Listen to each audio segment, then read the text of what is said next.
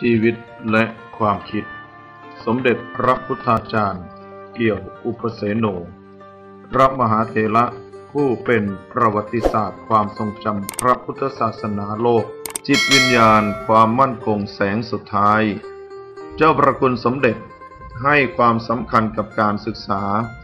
พระเนนต้องเรียนเรียนอะไรก็ได้ ที่ไม่ขัดต่อพระธรรมวินัย เพราะพระเนนจะเป็นผู้รักษาพระศาสนา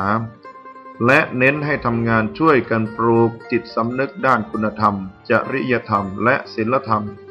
ให้กับเยาวชนและประชาชนในชาติ ซึ่งหนทางนี้เท่านั้น จะช่วยให้เกิดความมั่นคงแก่พระศาสนา จึงเป็นจุดเริ่มต้น การจัดตั้งสำนักงานส่งเสริมคุณธรรมจริยธรรม และความมั่นคงแห่งสถาบันชาติ พระศาสนา พระมหากษัตริย์ แม้ในยามที่ร่างกายโรยแรง เริ่มชราภาพลง แต่ข่าวคราวที่พระสงฆ์สามเณรและชาวพุทธ ถูกฆ่าที่ภาคใต้กลับเพิ่มความรุนแรงมากขึ้น พระธรรมทูตอาสาห้าจังหวัดชายแดนภาคใต้จำนวน 260 รูป ในสตูล สงขลา ยะลา นราธิวาส และปัตตานี จึงถูกก่อตั้งขึ้นตามคำดำริของเจ้าประคุณสมเด็จ เพื่อปลูกจิตสำนึกให้พระสงฆ์ร่วมกันทำงาน ในพื้นที่เสี่ยงภัย นับตั้งแต่ปีพศ 2553 เป็นต้นมา เจ้าประคุณสมเด็จ ได้ประทานโอวาทแก่พระธรรมทูตอาสาว่า หากไม่มีพระสงฆ์ในพื้นที่ ชาวพุทธก็หมดที่พึ่ง ก็ชื่อว่าพระพุทธศาสนาได้หมดไปแล้ว ขอให้ทุกองค์หนักแน่น มั่นคง อยู่เป็นกำลังใจให้ชาวพุทธ ถึงแม้วันหนึ่ง วันใดข้างหน้า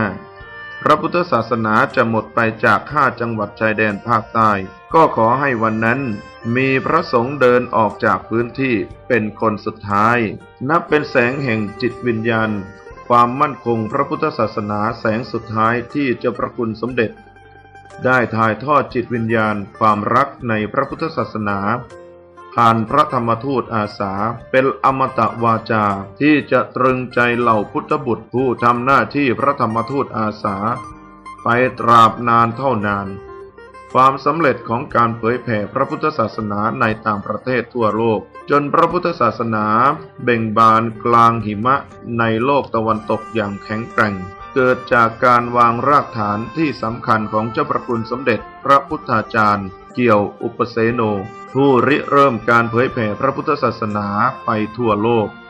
ริเริ่มการสร้างวัดไทยในต่างประเทศ และริเริ่มให้มีการฝึกอบรมพระธรรมทูตไปประจำณวัดไทยในต่างประเทศ เป็นเหตุให้พระสงฆ์ผู้ปฏิบัติหน้าที่เป็นพระธรรมทูตได้ยึดเป็นแนวทางอันเดียวกัน เป็นที่มาแห่งความสำเร็จของงานพระศาสนาในต่างประเทศ นับได้ว่าเจ้าพระคุณสมเด็จ เป็นผู้เปิดวิสัยทัศน์ธรรม สู่วิสัยทัศน์โลกทำให้พระพุทธศาสนาแผ่ไพศาลไป เป็นที่พักพิงทางด้านจิตใจ แก่ชาวไทย และประชาชนในต่างประเทศทั่วโลก เรื่องราวทั้งหมดนี้จะถูกจดจำ เล่าขานถ่ายทอดสืบต่อกัน จนกลายเป็นตำนาน จากตำนานกลายเป็นประวัติศาสตร์ จากประวัติศาสตร์ กลายเป็นความทรงจำของโลกที่สุดแล้ว นามของพระมหาเถระท่านนี้ก็จะถูกจารึกบนหน้าประวัติศาสตร์แห่งความทรงจำของโลก ในนามผู้นำพระพุทธศาสนาไปประดิษฐาน ยังแผ่นดินตะวันตกอันไกลโพ้นตลอดไป